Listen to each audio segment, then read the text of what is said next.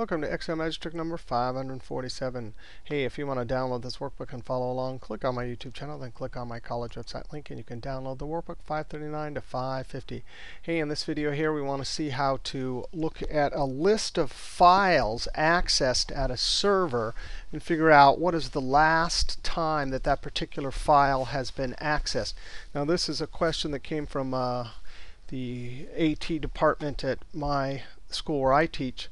40,000 records. So we went up and we did this on a 40,000 record uh, uh, data set. I just have a little data set here. Here's the file names. Let's say this is a data dump.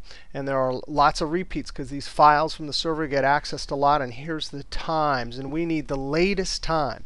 The first thing is we need to get a, a unique list of uh, file name. So I'm going to click in this cell, Control Shift down arrow. Although you could do it with the formula, why bother when you have data advanced filter. And with advanced filter, it's try, trying to guess the range. That looks like it's correct. We would definitely want to copy it to another location.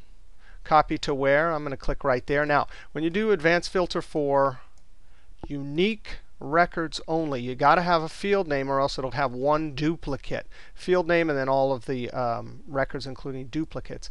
No criteria because that is the criteria. Click OK. Now we need uh, to count. This, pers uh, this person needed to count how many times they'd been accessed. They were in essence analyzing if it was worthy of, uh, are the files being used or not. So if, they're, if the counts are all ones and twos and zeros, uh, maybe they're not worthy. And if there's a lot of them, they wanted to know the last time. This is like a dying server that they were working on. So we're going to say last time. Now, it's important to know that um, this could have date and time or just time. I put just time here, but date, either one of whatever data is in this column, as long as it's a uh, serial number, date or time, then this will work. Now, the count is pretty easy. We just do count if. I'm going to highlight this whole range in the active cell at the top equals count if.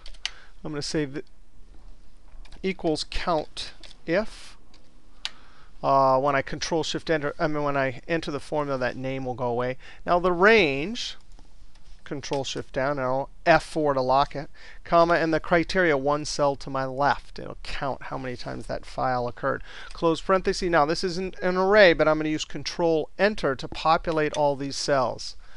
So there we have it. Um, now the last time we, in essence, need to look through here. We could just use the max, right? Because time and dates are numbers. So obviously, if it's further through time or further through dates, we can use the max function. But we need a condition, right? We need to, to isolate the calculation here just for red. So it needs to go red. Oh, to look at that one. Red. Oh, look at that one. So somehow we need to pick out this one and this one, etc. We'll do that with an array formula.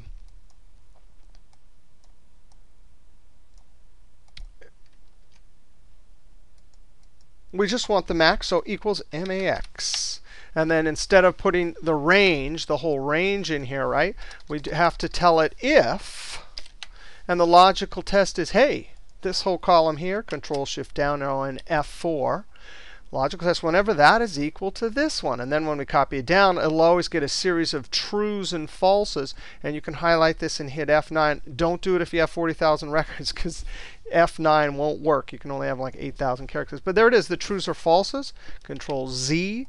That will determine which one of these times.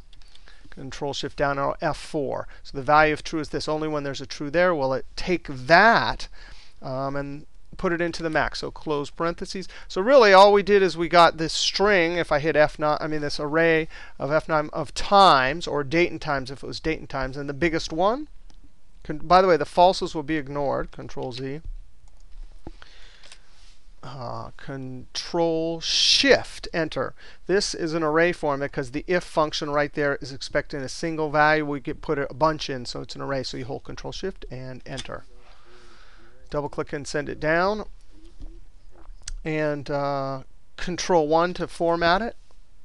And I'm going to do number time. Again, I just did uh, times here, but when you have dates and times, then you can be looking at that also. All right, uh, we'll see you next trick.